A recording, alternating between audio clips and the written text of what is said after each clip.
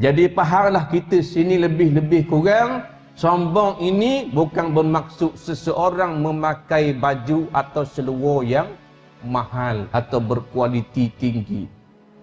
Nah, dia tak ada kaitan dengan pakai kereta mahal. Tak ada kaitan dengan kasut mahal. Tak ada kaitan. Nah, ha. Pasal sombong ni dalam.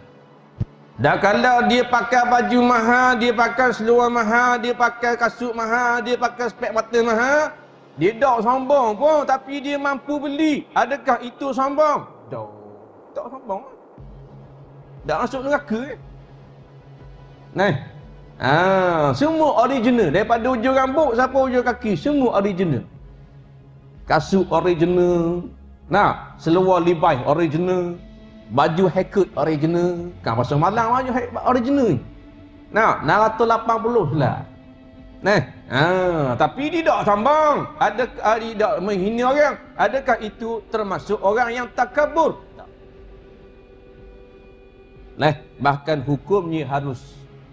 Namu mampu. Kena tak apa pakai cuma jangan hina orang. Bila pakai jubah mahal pakai baju mahal Hina orang pakai jubah murah. Hina orang pakai seluar murah. Hina orang pakai piyah murah. Ha, tu baru sombong. Nah, hina orang pakai kasut. Tak ada pakai ada kasut gini ni. Pesen mana kasut gini lah kau. Tak tahu pakai kasut mahal. Nak, dia hina kawan dia. Nak, pakai kasut tak mahal. Ha, ni sombong ni bagi. Nah, ha, tapi kalau dia pakai kasut murah, dia pakai seluar murah, dia pakai baju murah tapi menyombongkan diri. Adakah dia ini orang yang takabur? Ya. Nah, kerana dia bersangkut paut punca kesombongan itu bukan dari pakaian tapi daripada hati manusia.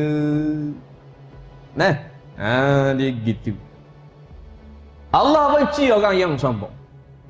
Kerana sombong-sombong ni Allah Taala saja yang boleh kerana dia layak. Kita tak layak. Al-kibriya'u libasi Tuhan kata. Sesungguhnya kesombongan itu adalah pakaianku. Mana kata sombong ni Tuhan je layak. Kita tak layak. Apa kita tak layak? Kerana kita memang tak layak. Start daripada ujung rambut sampai ujung kaki semua pinjaman daripada Allah. Tiba-tiba barang pinjam kita buat nunjuk korang. Ha, jadi tak munang sabar. Ha? Nah, kalau kita nak tunjuk korang, kita nak buat act, kita nak apa benda ni. Nah, ha, nak buat action, biar benda tu hak milik kita mutlak. Ha, baru munang. Ada tak milik kita mutlak?